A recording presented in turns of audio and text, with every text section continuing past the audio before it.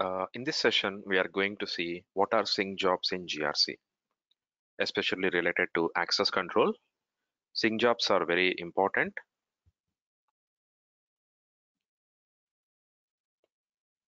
So what is the purpose of sync jobs? First, let us try to understand the purpose. Then we'll go into system and also see the sync jobs, how to run them and what exactly is the purpose. So first, the purpose of sync jobs is to sync the plugin system data so when I say plugin system, it could be your S4 HANA system or ECC system. That particular system data into GRC. Now, question yourself like, why do we need to sync the data into GRC system? Your backend system like plugin system into GRC. So there are some, not some actually, for all the components, whatever you talk about, either risk analysis or emergency access management, BRM, business rule management, or access request management.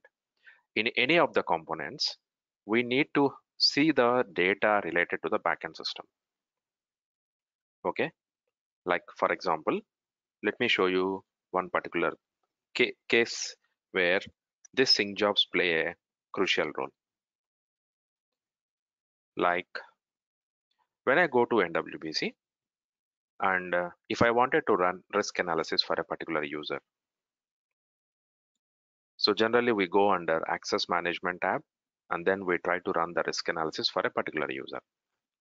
So let me open that screen and we will enter into that particular.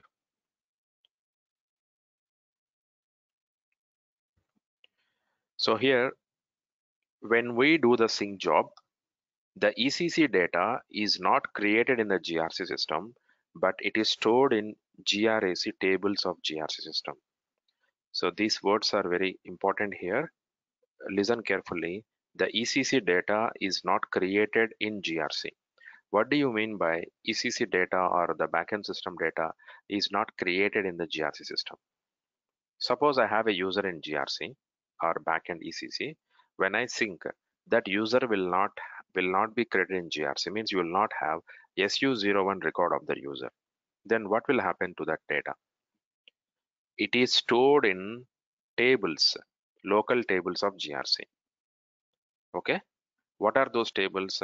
Here I have two specific tables related to users and roles. The data where the user information is stored is GRAC user con. So the naming convention is also helping us to identify what type what type of table it is or which table it is. GRAC is a common word for every table. Then the keyword here is user and followed by CONN con. So con is something like connector. Wherever you see the CONN word, it refers to connector. Connector is nothing but the backend system, the plugin system. Okay, so let's go back to system. Now under access management, I go to access risk analysis and I'm going to user level. When I go to user level, I have a system. Let me choose my system name. So my system name is, for example, I take JJ client 800. And here I'm trying to search the user in my backend system. This is my backend system. And here I'm trying to search. So these are the users that exist in my backend. So I have around 4,108 users. So 4100 or you can say 4,108 users we have here. Suppose now, let me create a new user in my backend system. So which is considered to be as my ECC. So I go to ECC. This is my backend system or plugin system.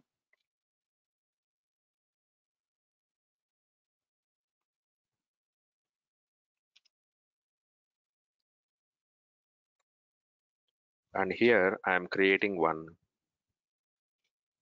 jj underscore user one. A test ID sort of thing. A new ID I'm creating.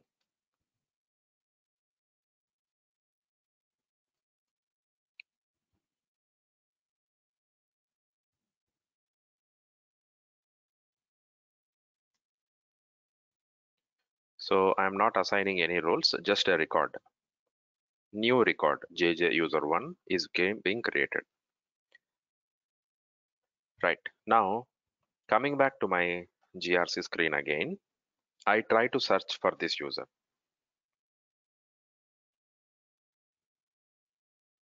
So I'm choosing my system name. That system name is JJ client 800. And here I try to search the user. The name is JJ underscore user one. No records found. There are no results found for the this particular user. So why it is not visible? The reason is sync job. After creating the user, a sync job has to run. Only then this data, this user will be visible in GRC. Okay. Now what I do is I will run the sync job. We'll come back and again to this uh, screen and we'll check it again.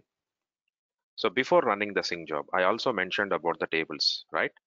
This is the table related to sync job. When sync job is run, this table gets loaded. GRAC user con.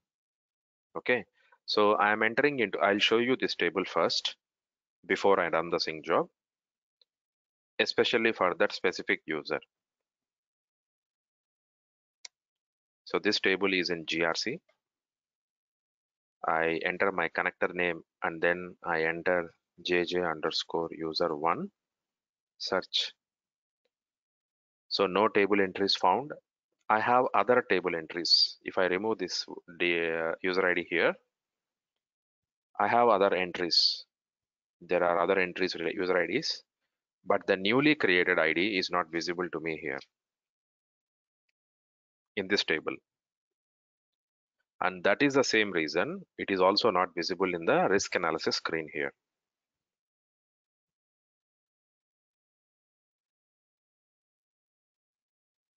So in so in other words, I can directly say now, in NWBC, when you are trying to search for the user ID, this information comes from the tables, basically local tables of GRC.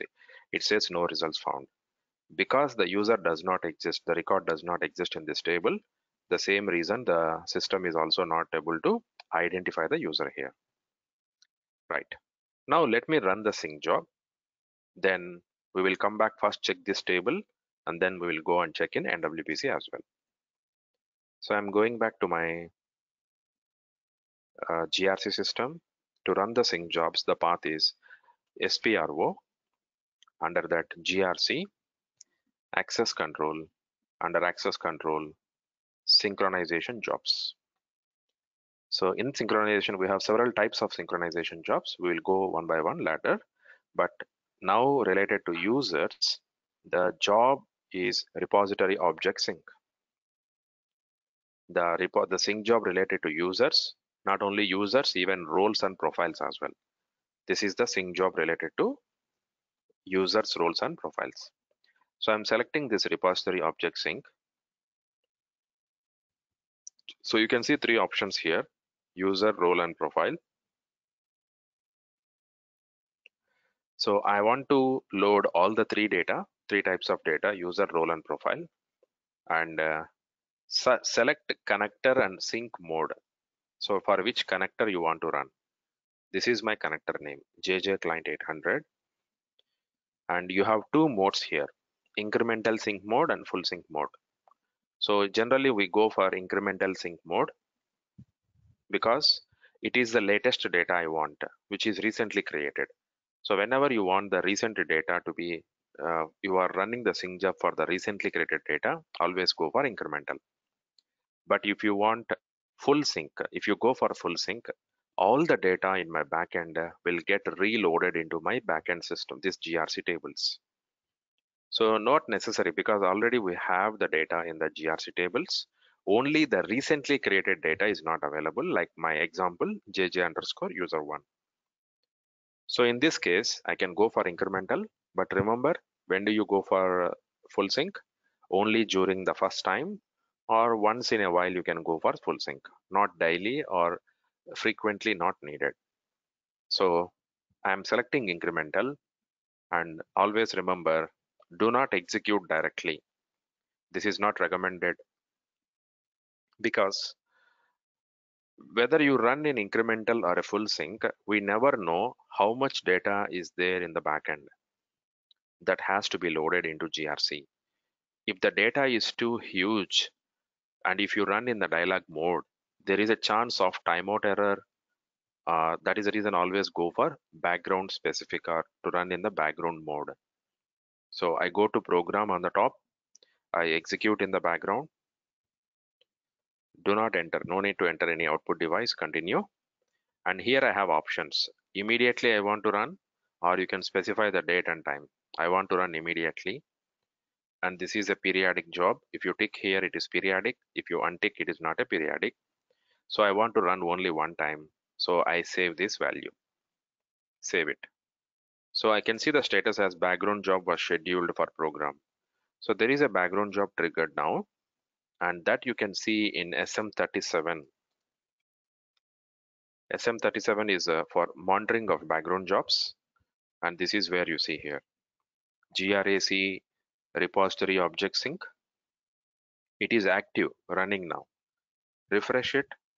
It should be fast because it is repository, right? And we did it in incremental mode so it should not it should not take more time unless you have more data. So this is my user id through which i am running this job.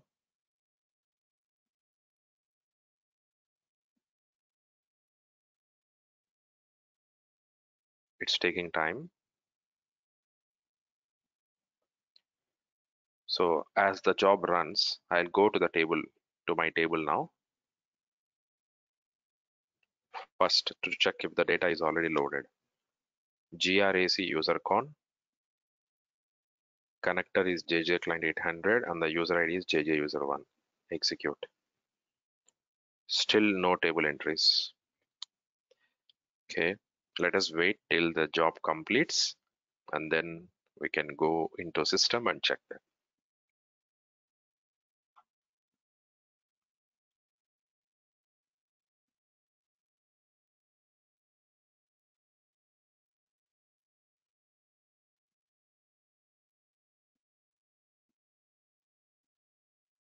You can also check meanwhile if it is taking too much time. SLG1. SLG1 is for system application log. So whatever you have triggered, it is recorded here. So this is my user ID, user sync is running and user repository sync started. It is still running, not yet completed. Role sync, yes, role sync is done role sync successfully executed. Profile sync is also successfully executed. Now I think we are waiting for the user sync to be completed. So if you face any error here there is a problem with your RFC connection or some of your connector configuration. So you can refer back to connector configuration course where we have discussed about uh, how to enable the connector configuration.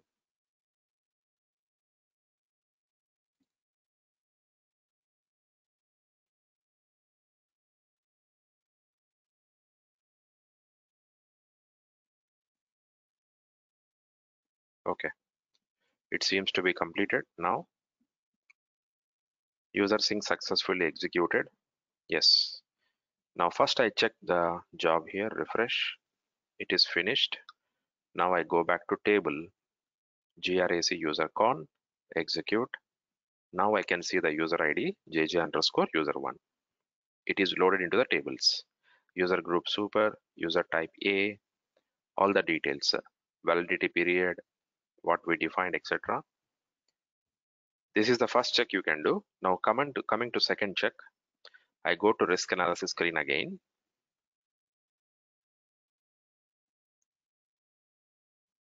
I try to filter by my system, JJ client 800, user, JJ underscore user one. Now I can see the user ID visible to me. So now I can go ahead and run the risk analysis for this user. So this is the main purpose of sync job. So going back to my definition again, to sync the plugin system data, that is whether it is S4HANA or ECC system data into GRC system. The ECC data is not created in GRC system. What do you mean by this statement? So you, some of you might have, might be thinking that within GRC, if I go to SU01 and if I check for this user display, so it is not created in the GRC, but it exists in the table of GRC.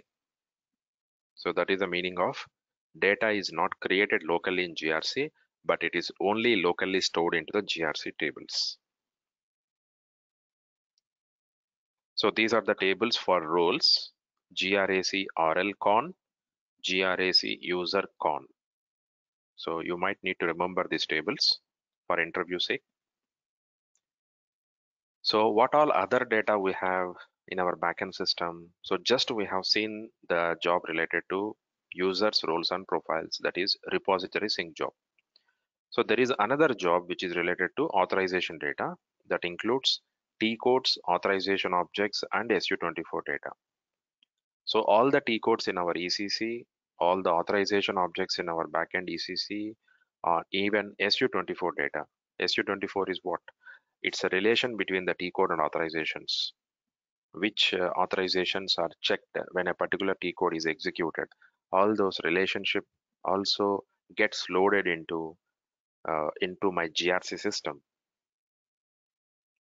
So what are the jobs, total jobs we have? The path for sync jobs is SPRO, SAP IF, uh, IMG reference, GRC, access control, and then sync jobs. So these are the different types of sync jobs what we have. So we will go one by one slowly. And uh, we will also discuss about the component wise what are the other things and etc when the job what is the job frequency of the jobs all those stuff in our next session. Right. Thanks all of you